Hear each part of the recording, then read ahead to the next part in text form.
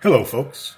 Some of you have been asking for comparisons between some of the lasers that I've been reviewing lately, so in this video I'm going to do a quick review of the LaserPecker 2 engraver to show you its features, and then we'll take a look back at my test videos for the LaserPecker 3 and the LaserPecker 4 and compare the differences between them to help you decide which of the three engravers is the best fit for your needs and budget.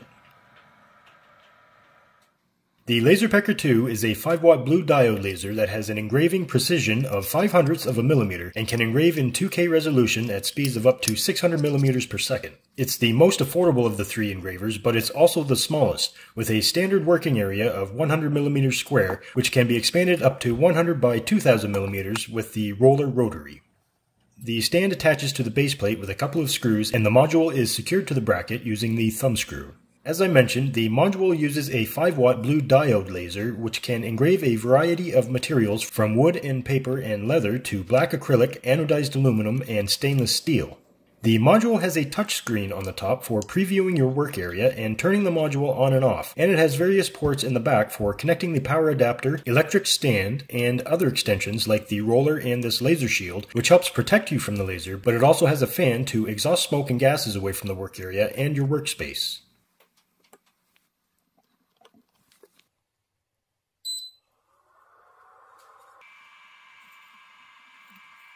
For my first test, I'm going to engrave and cut my logo out of this piece of 2mm birch plywood. The first method for setting the focal point is by using a ruler to set the bottom of the module at 110mm from the surface of your workpiece.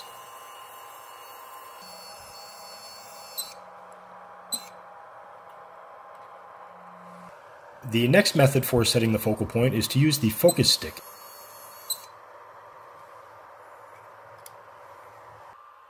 The third method for setting the focal point is to use the laser shield, which is exactly 110 millimeters high, so it just needs to be lowered until it barely touches the surface of the workpiece, and it's all set.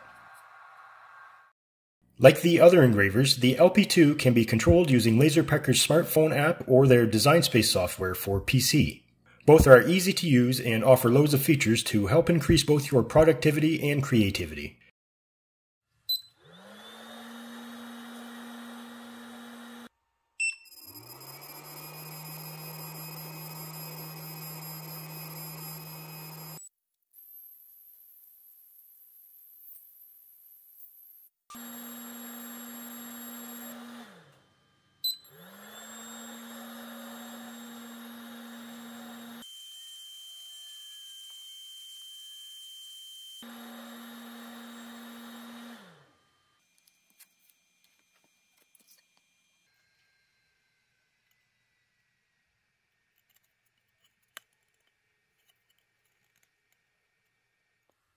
Next, I'm going to engrave and cut the same logo out of a piece of 2mm black acrylic.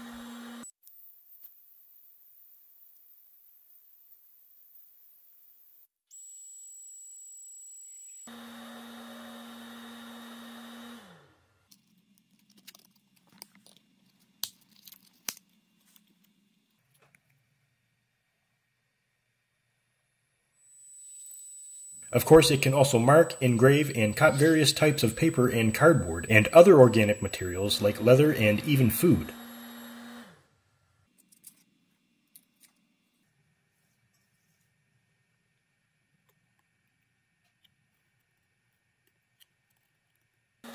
It can't etch any other bare metal, but it can etch stainless steel to produce different shades and colors from grays to blues and browns depending on your power and depth settings. However, it can etch any painted metals.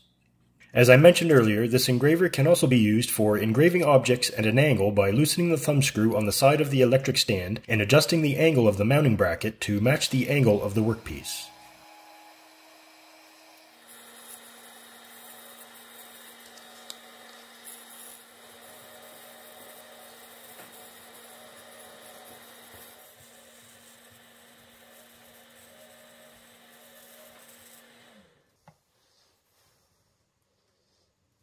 All of the engravers are portable handheld machines, but in slightly different ways. The LP2 can be detached from the electric stand and base plate altogether and uses the laser shield as a rest and to maintain the focal point if you want to engrave something on the go.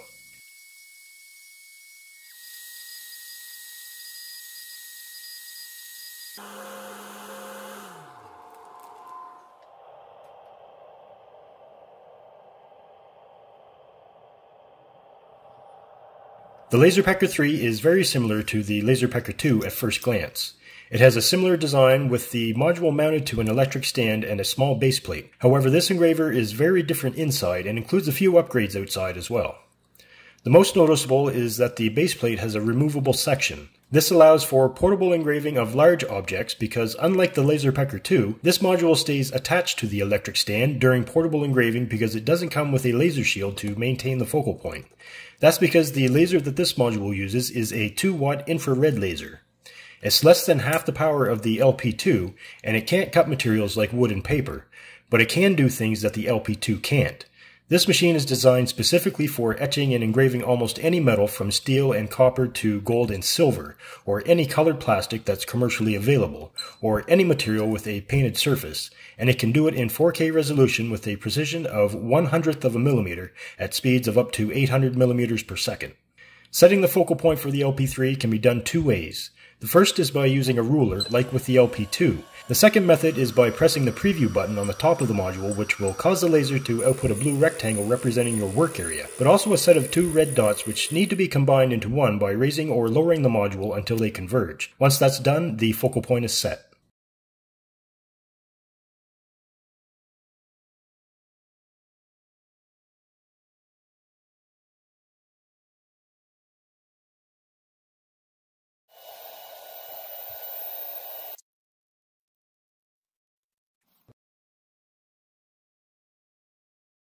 Here you can see that the laser does a nice job etching both coated and bare aluminum.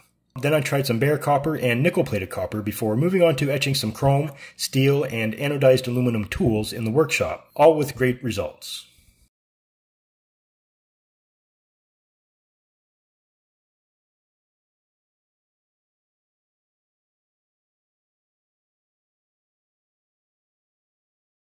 After testing different materials, I etched a few logos on some plastic parts like the USB adapter for my drone, and also the drone itself.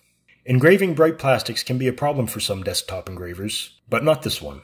This machine does it well and produces professional looking results.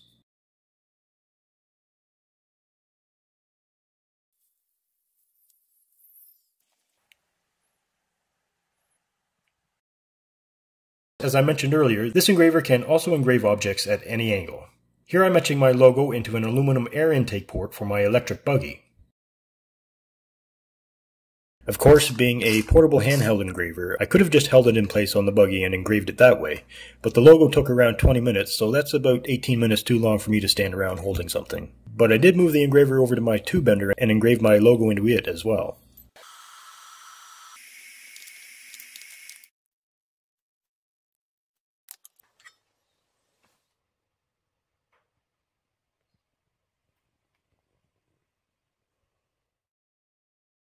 Both the LaserPecker 2 and the LaserPecker 3 can be paired with extensions like this roller rotary, which can be used to engrave cylindrical objects like this socket.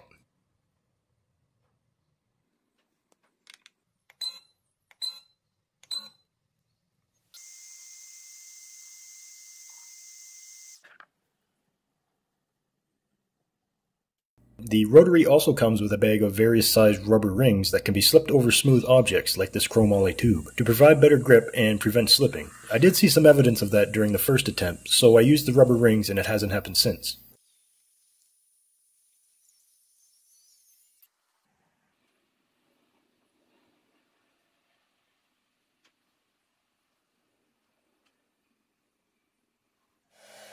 Of course, I couldn't resist engraving the rotary itself.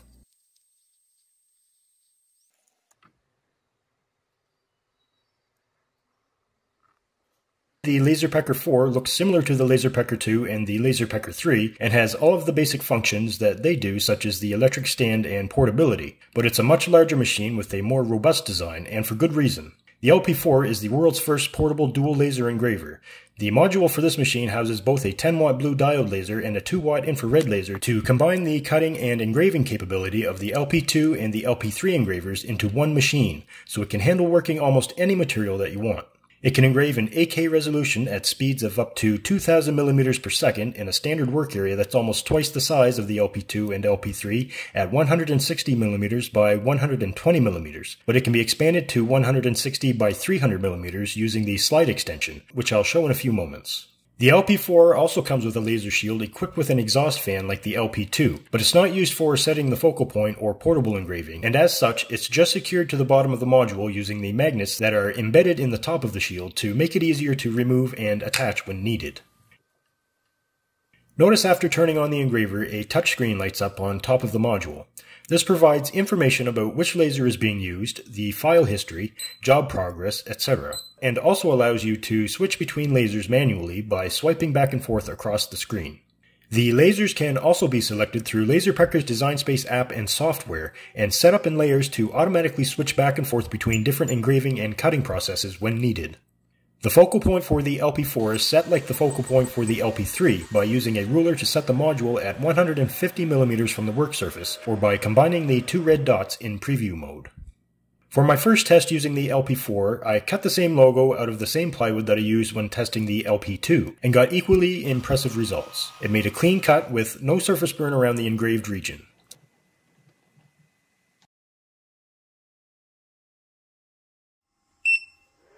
Next, I engraved a high-resolution 3D image into birch plywood, which also turned out really nice.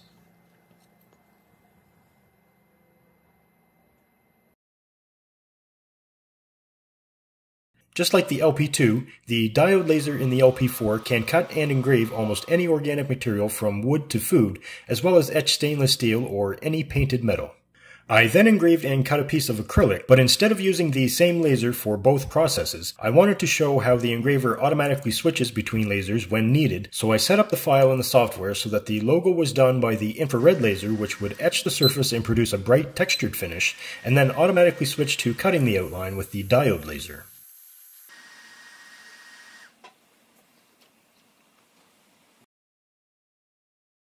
My power setting for cutting was a little low, but it did a nice job regardless.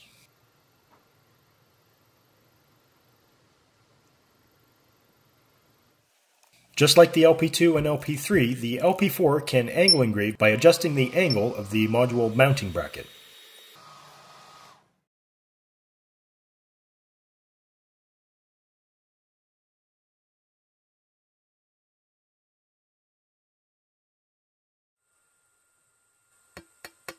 Unlike the LP2 and the LP3, the LP4 can engrave images in 8K resolution, like this cougar that I etched into a sheet of coated aluminum.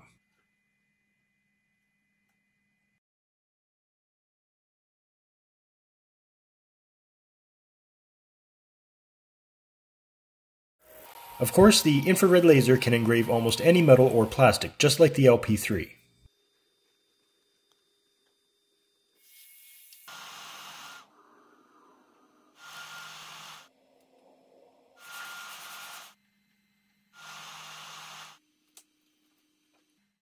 What I really like about the LP4 is its expandability. It comes with a riser attachment for the module mounting bracket which raises the module a couple of inches to compensate for the height of the slide extension. The slide extension is basically a conveyor that moves your workpiece forward and backwards to more than double the work area from 160 by 120 millimeters to 160 by 300 millimeters, which I demonstrated by engraving Led Zeppelin's logo into the back of my ukulele.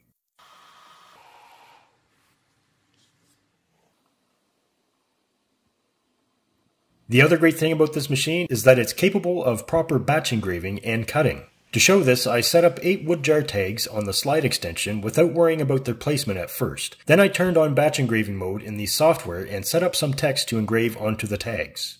Once in preview mode, it allows me to select each text individually to show its position in the work area so that I could adjust the tag for that text accordingly before moving on to position the next one. After the tags were positioned and the engraving was started, the software automatically moves from one job to the next until the process is complete, without the need for me to engage it.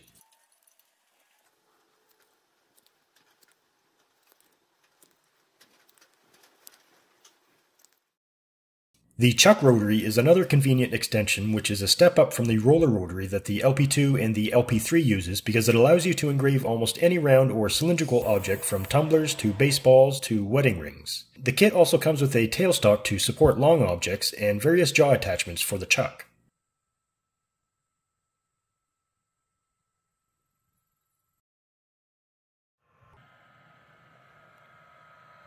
So that's it for this video folks. If you have any questions about any of these machines, then please post them in the comments below. If you're interested in getting one of them for yourself, then check out the links in the video description and pin comment, and use the coupon code JB50 so you can save a bit of money on your order. If you have any other video requests, then post them in the comments below as well. And if you like this one, then let me know by giving it a like and make sure you're subscribed to see more. Until then, take care, folks.